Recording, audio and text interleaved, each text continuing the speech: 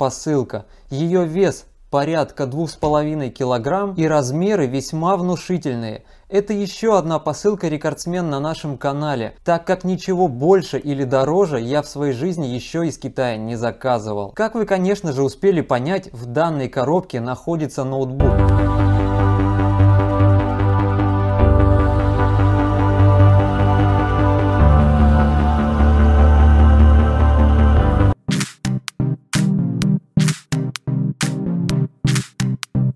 За свою историю человечество создало много загадочного. Египетские пирамиды, Стоунхендж, геоглифы Наски, новый премиум-танк Шерман М4А1 Революризе. Линейка французских боевых машин пополнилась еще одним необычным экземпляром – AMX CDC 1357 и вот теперь Революризе. Создавался он на базе американского М4 Шерман, а использовался в израильской армии. Что же он делает во французской ветке? Все просто. Его главный козырь, 105-миллиметровая пушка, была разработана именно любителями вина и сыров.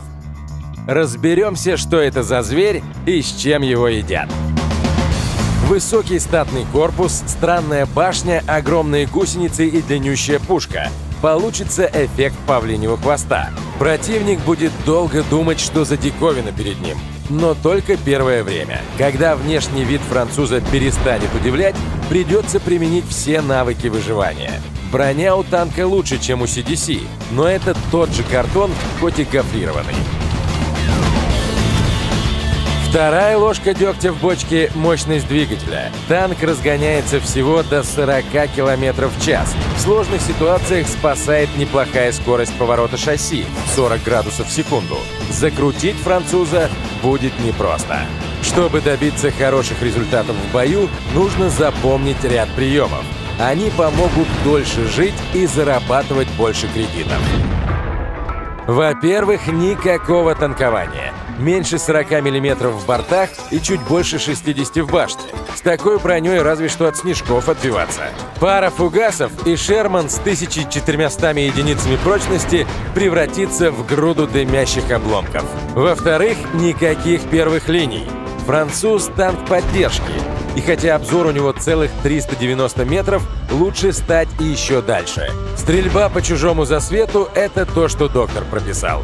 Пушка сводится не очень быстро, но обладает хорошей точностью в 0,36. Выцеливать уязвимые места непробиваемых десяток будет очень удобно. 1700 единиц урона в минуту — не предел мечтаний, но при осторожной игре его хватит с лихвой. И в-третьих, засады, засады и еще раз засады. Революризе — это смесь среднего танка и противотанковой самоходки. Это одна из немногих премиум-машин с альфой. При неплохом пробитии в 200 мм можно выбить из противника дух на 390 единиц прочности. А для восьмого уровня это ого-го. Воевать, конечно, придется и с врагами постарше, но здесь на помощь приходят кумулятивы с 250 миллиметрами. На городских картах Революризе должен быть предельно осторожен. Не лезть в самую гущу боя, двигаться за спинами тяжелых союзников и ловить врагов, пока те перезаряжаются после выстрела.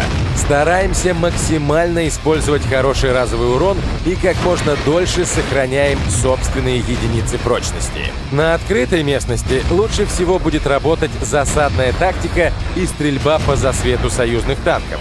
Так как углы вертикальной наводки у танка не совсем подходят для игры на холмистой местности, бодаться с противником на горках не стоит. Лучше занимать обзорные позиции и ловить неосторожных врагов, въехавших за линию засвета. Французская СТ, хоть и гадкий утенок, но в умелых руках может стать прекрасным лебедем, способным знатно пощипать врагов. Ну и не забывайте, что Революризе премиум танк, а значит все шероховатости игры на нем компенсируются большим количеством кредитов и опыта экипажа за бой. Подробнее о том, как играть на Революризе, вы можете узнать из видео опытных игроков. Удачи на полях сражений!